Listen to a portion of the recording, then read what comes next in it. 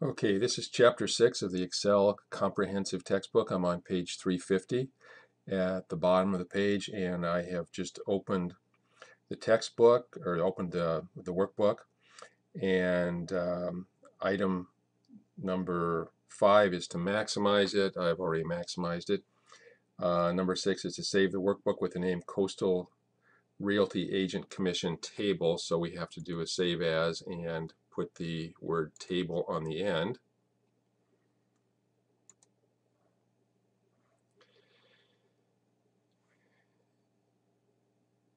And I'm going to put it in the current folder here, and I'm just going to tack the name table on the end of it, and click on Save.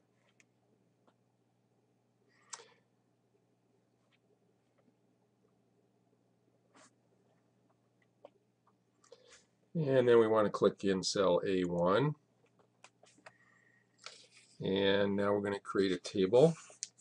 And we're going to go over to page 352. And the section is called the Format a Range as a Table.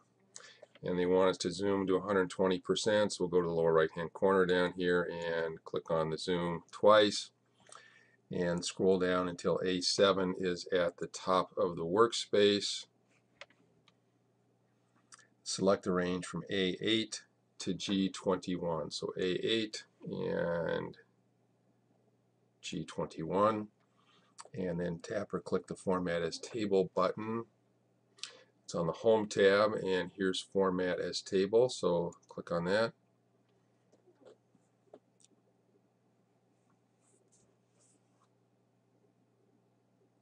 And it looks like the one we want. I'm on number two now on page 353 uh, is uh, table style medium 6. So if we go down to medium here and one, two, three, four, five, let's see if that's number 6 right there. And we'll select that.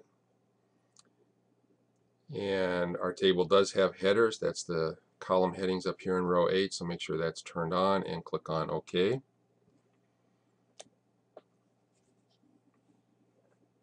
and you'll notice uh, it does several things. Uh, first let me click off of the table here.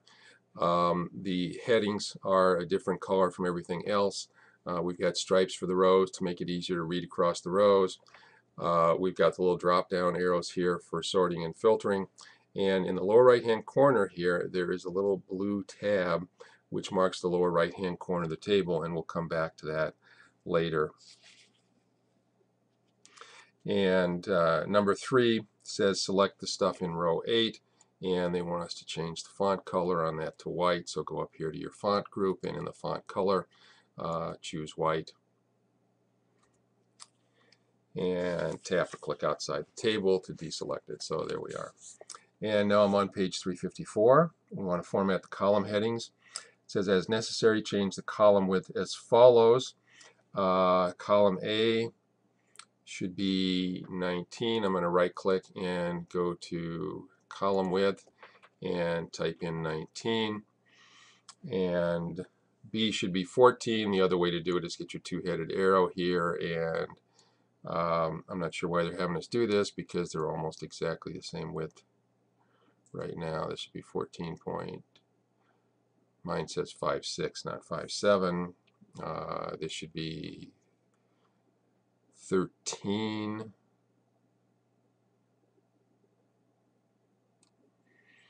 Uh, this one should be 15. This one should be 15, and actually I could have done those both at once. If you select two of them and then set your column width, um, they'll both be set to the same width, and then this one should be set to 12. So let's go to 12 on that one. Okay uh, select cell E8 which is this one. And we want the wrap text button. And uh, then we want to do the same thing for G8 over here. And a keyboard shortcut for control, uh, repeating the last instruction is control Y. If you do a control Y there instead of going up and clicking on wrap text it'll do the same thing. So that's kind of a handy shortcut to know Okay, now we're going to name the table. Uh, we're down on the bottom of page 354, item number one. Uh, click in the table and then display the Table Tools Design tab. So here's my Design tab up here and tap or click the table name text box and type commissions and hit the enter key. And now we've given a name to our table. And now we're on the top of page 355 and we're going to remove duplicates in the table. So we need to be any place in the table. Click the remove duplicates button. And we want to click select all.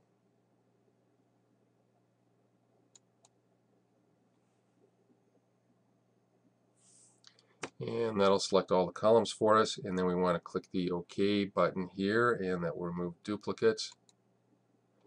And apparently we had one duplicate in there and click on OK. And notice that little blue tab in the lower right hand corner moved up so now the bottom of the table is row 20 instead of row 21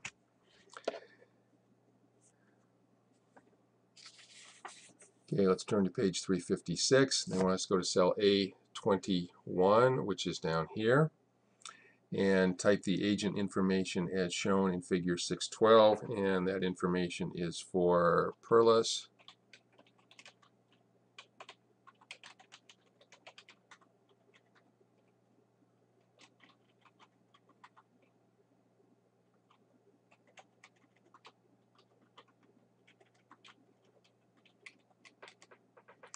Okay, so I've entered that data and says necessary tap or click outside the table to deselect it. So I'm outside the table when I hit the enter key there. And notice that the blue tab is now moved down another row. So the data we typed in uh, was automatically added to the table. Um, now we're going to add new columns to the table at the bottom of page 356 it says change the column width of column H to 14 so let's go here and click it. It's almost 14 right now. And uh, go to cell H8 and type year-to-date commission YTD commission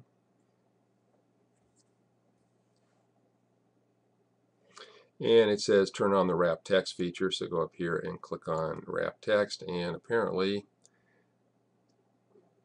uh, with the resolution on my computer uh, that just fits. Now if I pull this in just a little bit I'm guessing it will probably come on. Why turn wrap text off? Let's try that again.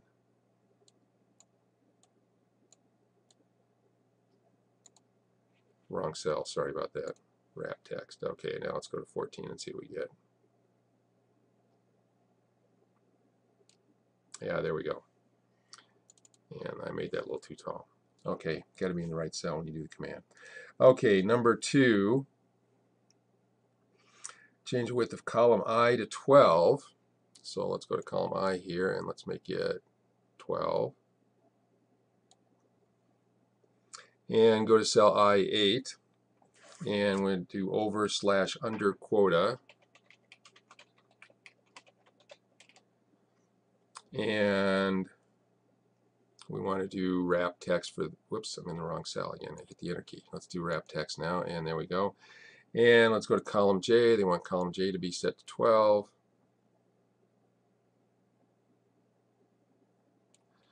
and the heading for that is standing and hit the enter key and we don't need to do the wrap text on that one. Okay, now we're at the top of uh, page 357 and I want to select the range in row 7 from A7 all the way across to column J. And uh, they tell us to right click. Um, the easy way to do this though is uh, we just want to do merge and center here and that'll get us the same results as doing it the hard way that they describe in the book.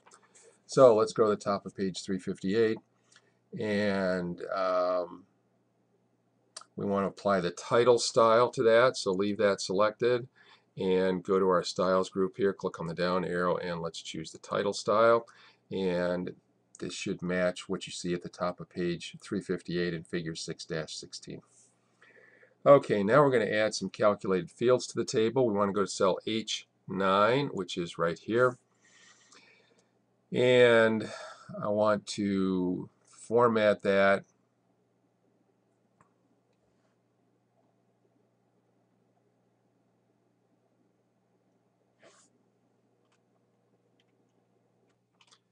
I want to format that using the accounting number format. So let's go up here and choose accounting. And I want to decrease the decimal places twice. I think they're doing this backwards. I think it makes sense to put the numbers in first, but that's not what they're doing. Okay, then we want a formula here.